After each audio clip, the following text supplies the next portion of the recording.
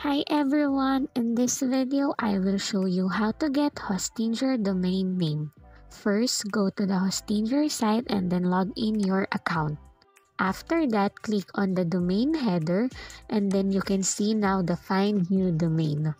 Insert your desired domain and then search for it if it's available.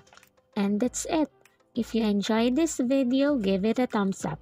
Don't forget to hit that subscribe button and ring the notification bell so you never miss an upload.